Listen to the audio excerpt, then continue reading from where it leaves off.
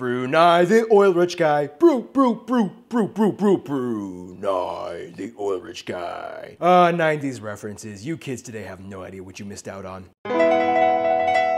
It's time to learn geography now! Hey everybody, I'm your host Barbie. Brunei is kind of like the master of being quietly rich. That's all I got. Let's dissect the flag.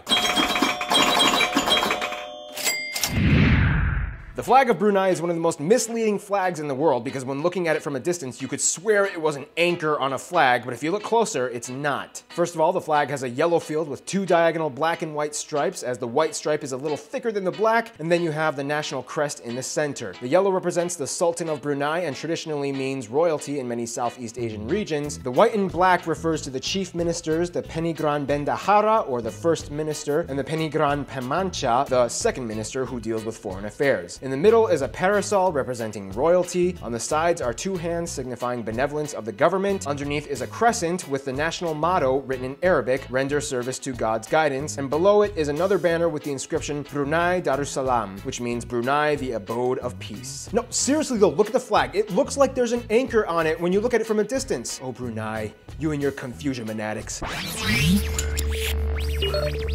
Oh, Brunei, Brunei. Where are you? No, but seriously, Brunei is pretty good at playing global hide and seek. Almost as good as East Timor, and don't forget little Liechtenstein. So anyway, Brunei is located on the island of Borneo, the only island in the world owned and inhabited by three separate independently sovereign nations, the other two being Malaysia and Indonesia. I mean, technically Cyprus is under three separate people groups, however, the north part isn't a complete state as it's only recognized by Turkey. And then you have the UN buffer zone, which technically makes four people groups, but that's a whole nother different story. Anyway, back to Brunei. Now, here's the funny thing about Brunei. Brunei. sits on the top of the island of Borneo on the mid-north shore, completely surrounded by Malaysia's Sarawak state, right under the South China Sea, below that madhouse of sovereignty limbo nautical chaotic atolls known as the Spratly Islands. Oh, Spratly Islands. You're like the last sugar-glazed donut in a donut shop full of obese children. People don't hate you for yourself, but you sure make them hate and fight each other. Brunei is interesting in that if you look at the map, it's actually split into two non-contiguous segments, the larger and more heavily populated western side made up of three districts, Belait, Tutong, and Brunei Muara, where over 95% of the population lives. Then there's the eastern part, also known as the Temburong district, where only about 10,000 people live. The reason why Brunei is split up into two parts is because back in 1890, the Limbang district was ceded to Sarawak, which is now part of Malaysia, by the Raja of Sarawak, who was actually a white British guy. That's right, Malaysia had this weird lapse in time called the White Raja period, but that's for another episode. Back to Brunei. This means the only way you can get over from the western side of Brunei to the Temburong district in the east is to either take a boat across the bay and go through the Labu River or drive on the Jalan Kuala Lurah road into Malaysia until you reach the border along the Kibi River. When you reach Limbang, you can either park your car and take a boat ride across the river, but if you want to keep driving, you have to go about 5 miles or 8 kilometers further south on the AH-150 highway and take the bridge that enters into the towns of Puni and Bangar, Brunei. This is the only bridge that crosses the Kibi River into Brunei. The capital is Bandar Seri Begawan in the western segment in the Brunei Muara district on the Brunei River, which dumps into the Brunei Bay. As the largest city as well as the cultural and economic hub of all Brunei, Bandar Seri Begawan's entire metropolitan region hosts nearly half of the entire population of Brunei. In Bandar Seri Begawan, you can see an array of mosques, including Brunei's number one country-defining landmark, the Sultan Omar Ali Saifuddin Mosque, built on an artificial lagoon with a dome that is plated with pure gold and a bridge that connects to the Sultan Bolkiah Maligali barge, a replica of the original barge owned by the former sultan, adorned with intricately crafted designs and details. Across from the mosque, you reach the Kampong Ayer, also known as the Venice of the Southeast. Kampong Ayer is the world's largest water village in which it is a town with over 30,000 people who all live and work in stilt structures on the Brunei River. Everything from houses, restaurants, hospitals, and schools can be found here, all intertwined with a refined network of bridges, walkways, and docks that connect the buildings, as well as water taxis that zip around transporting the locals. Otherwise, the other districts are intriguing in that they each kind of have their own designated function. Tutong is kind of known as being the middleman transporting district, everything passes through here, and Belait is known for being the center hub for the oil and gas district. They even built a monument to the billionth barrel of oil produced in Seria. So yeah, as you can probably guess, oil makes up a huge factor in the economic development sector in Brunei, and it's also a resource we will discuss in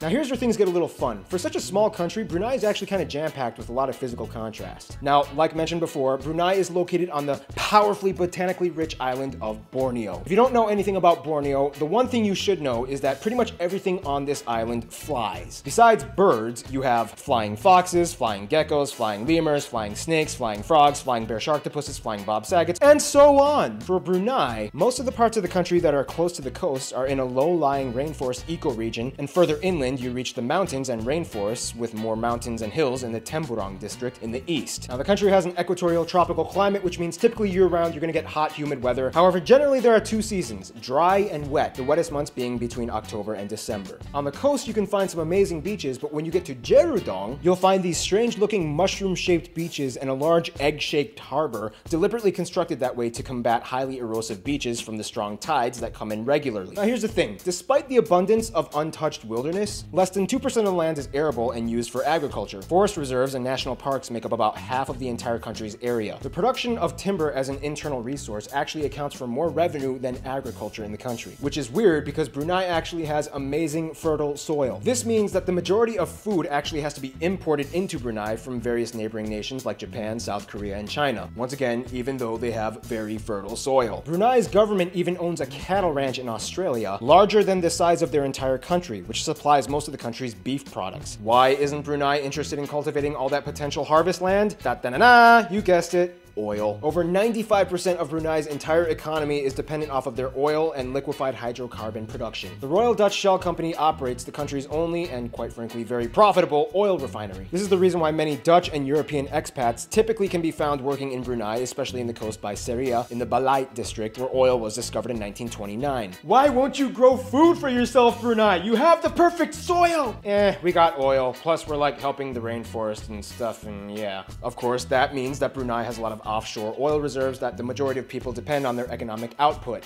Now let's talk about the people that depend on that. Now, I'm not saying that Brunei is like the Monaco of Southeast Asia, but yeah, I guess I kind of am but it has Sharia law. The country has about 417,000 people, and ethnically, about 66% of the people in Brunei identify as Malay, as in just like the people from Malaysia, Malay, except they have a distinct Bruneian Malay culture. About 11% are Chinese, 4% indigenous, as in people coming from tribes like the Kedayan and the Bisaya, and to a small extent even the Sama Biaju, which sometimes are referred to as sea gypsies. 2% Indian, and the remaining 17% comes from a wide range of other nationalities like Filipinos, Arabs, and even whites, most of whom are expats working for the oil industry. Language-wise, Brunei is kind of funny because although Malay, or more specifically Bruneian Malay, is the official language, and to some degree the Kedayan language, which is kind of similar to Malay, most people speak English as a second language, even though many signs are posted in Malay and Arabic. Furthermore, a large portion of the country speaks Mandarin as a second language, even though English is more widely taught, even though there's a huge Dutch expat community. But then again, most Dutch people speak English anyway. A day, a what? Just speak English here and you'll be fine. Oh, uh, okay. This all had to do with Brunei being a British protectorate, yada yada yada, the linguistic impact left a mark. Brunei is also considered one of the richest countries per capita in the world, with the average income surpassing $50,000. Culture-wise, Brunei has its distinctions. You'll notice a lot of women wearing the tudong, or the traditional head covering, and a lot of men wearing the songkok, or the Malay cap. Now, here's where things get a little eh, squinty eye shruggy. In 2014, Brunei became the first country in Southeast Asia to introduce a Sharia law penal code on a nationalistic level. This institution is still being carried out in legislative phrases, but essentially it has caused a lot of controversy. The ruling was instituted by the Sultan of Brunei, Hassanal Bolkiah. First of all, let's talk about this guy. Although getting an exact estimate is kind of tricky, Forbes speculates that about $20 billion sits within the net worth of the Sultan. And here's a small list of things that he owns. A palace with over 1,700 rooms, 250 bathrooms, five swimming pools, a banquet hall that holds over 5,000 people, a private zoo, over 9,000 cars in a collection with several vintage and custom-made cars. He even built a stadium on his 50th 50th birthday and paid Michael Jackson $17 million to perform three concerts there. And let's not even mention all those yachts. That's to say that you can kind of conclude that the Sultan lives in a very lavish and opulent lifestyle. People have complained that the Sultan's controversial, over-the-top escapades and personal actions have made he himself a violator of the very Sharia law that he has instituted. This has also concerned many of the non-Muslim residents of Brunei, as it's kind of unclear how this new law will affect them. Nonetheless, despite the shaky political disposition, people in the country are generally happy with their high standard of living and welfare and generally enjoy the overall trajectory that the country is headed in. Let's see what other countries think about that trajectory.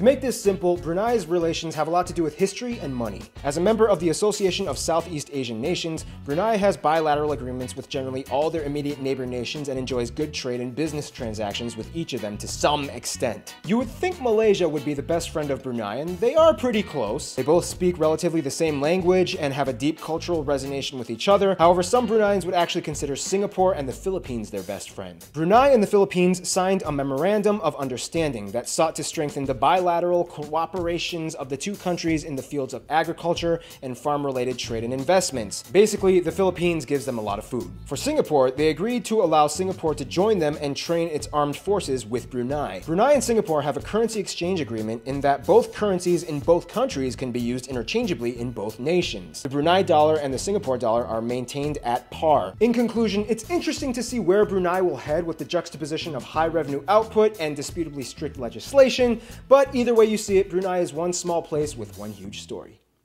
Stay tuned, Bulgaria is coming up next. Hey Jagger peeps, say hi to this guy, Potter. I'll let him explain. Hello, how's it going? Um, I'm Potter, an Irishman living in Stockholm. Um, I've been helping Barbie out with the videos, with the animations and the infographics um, this week. Uh, I said to him by email, I said, you great videos and all, really good videos, but there's one thing that's missing, one thing is explosions, okay? Explosions. We need more explosions. That's why I'm here.